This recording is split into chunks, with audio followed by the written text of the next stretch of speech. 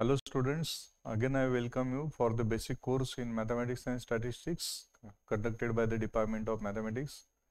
I hope you enjoyed the previous three lectures. Uh, now we'll continue the functions and types of functions in the fourth lecture also. In the previous lecture I discussed about the types of functions that is the constant function, linear function and power function and some functions in economics also I discussed in the last lecture. Uh, we'll continue the functions. Now the next type of function is the quadratic function and quadratic equations. So quadratic function is defined as a function f is given in the form f of x is ax square plus bx plus c where a is not equals to 0 is called quadratic function. That is the highest power of the variable x is 2 here and the graph of the quadratic function is a parabola. For example, if f of x is equals to x square minus 4x plus 5, here the coefficient of x square is 1, coefficient of x is minus 4 and constant term is 5 is a quadratic function. Similarly, f of x is equals to 3x square minus 9x plus 13 is also a quadratic function. So, in the, both the examples highest power of the variable x is 2. So, we call this function as quadratic function as you are familiar with the uh, terminology that unit, quadratic and so on. So, highest power of the variable x must be 2 then that function is called quadratic function. Now, uh, in the similar way we define the quadratic equation an equation of degree 2 is called quadratic equation so, here we see the equation of degree 2 that is the general form of the quadratic equation is ax square plus bx plus c equals to 0 where a, b and c are real numbers or constants and a must be a non-zero real number. And the value of variable x satisfying the given quadratic equation is called roots of equation. So, from quadratic function now move towards the quadratic equation. The general form is ax square plus bx plus c equals to 0. Again the highest power of the variable x is 2. So, we call this equation as quadratic equation. So, here we can see some examples of quadratic equations. Uh, 3x square, first example is 3x square plus x plus 5 equals to 0. Here the power of the highest power of the variable x is 2 and the coefficient is 3 3x square plus x plus 5 equals to 0 is a quadratic equation. Similarly, minus x square plus 7x plus 5 equals to 0 is also a quadratic equation. Yeah, x square plus x equals to 0 is also a quadratic equation. So, in all these examples, we can see the highest power of the variable is 2. Therefore, this equation is a quadratic equation and the coefficient of x must be not equals to 0. So, in the first example, a is 3 b is 1 and c is 5. So, highest power of the variable is 2. So, this equation is quadratic equation.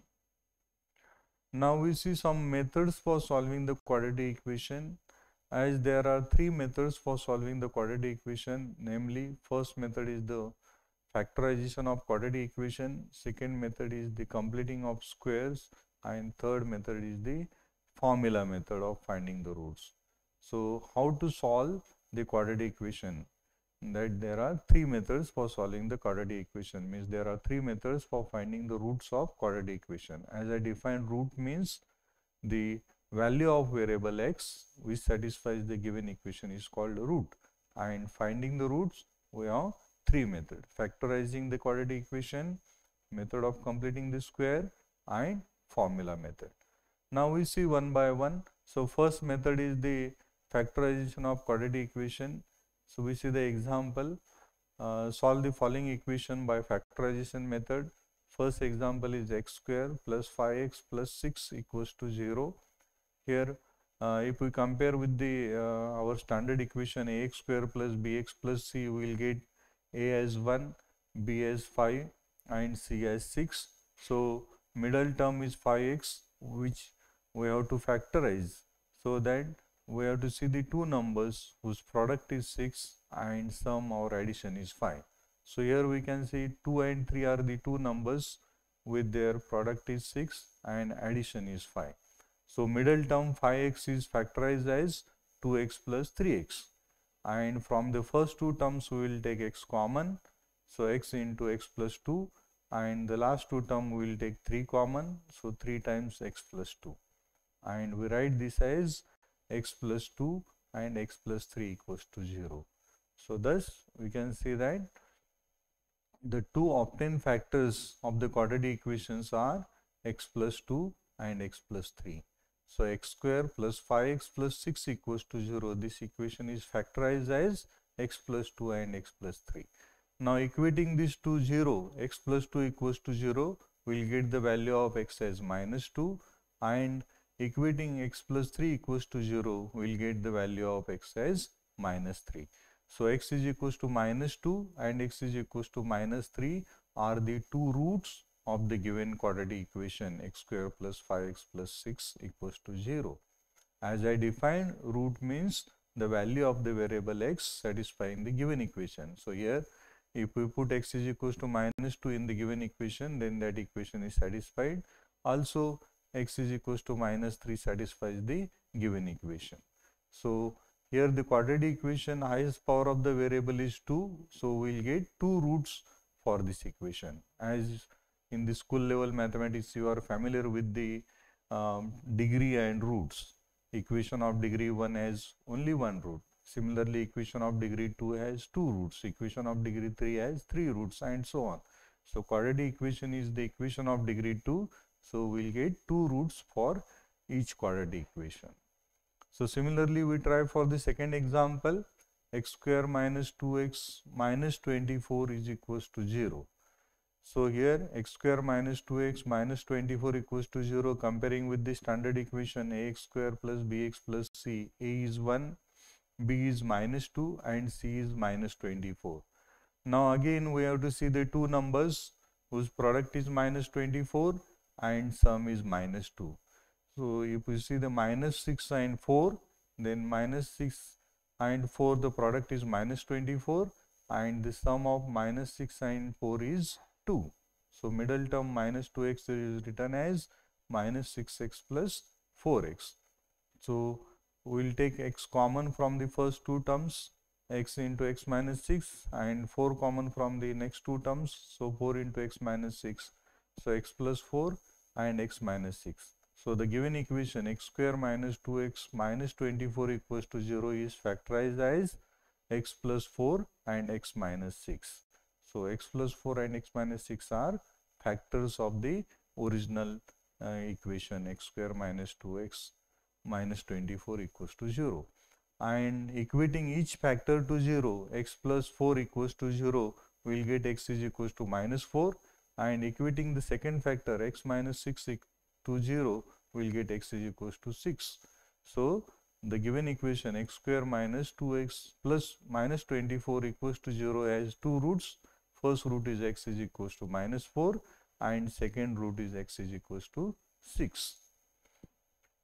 Now we see the second method for finding the roots of uh, quadratic equation that second method is called completing the square method.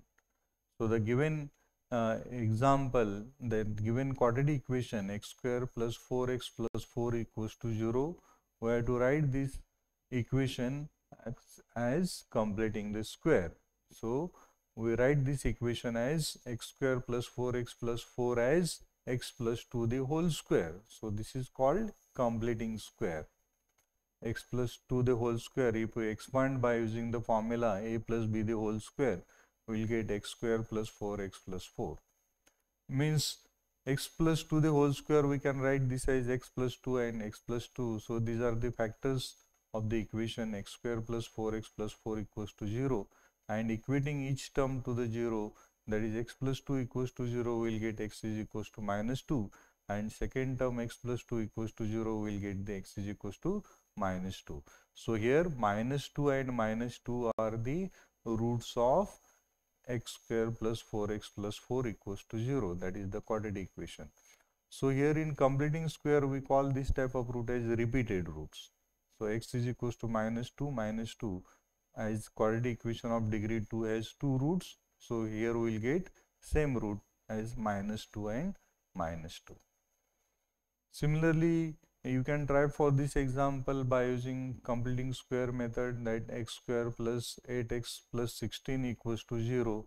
So, by this uh, same method that is the completing square here also we can write this as x plus 4 the whole square and we write x plus 4 x plus 4 equals to 0 as the factors and equating each factor to the 0 we will get x is equals to minus 4 and minus 4. So, this equation as a root x is equals to minus 4 and minus 4 if we put the value in the equation it satisfies the equation. So, these are the two methods for solving the uh, quadratic equation. First method is the factorization method and second method is the completing square method. Thank you so much.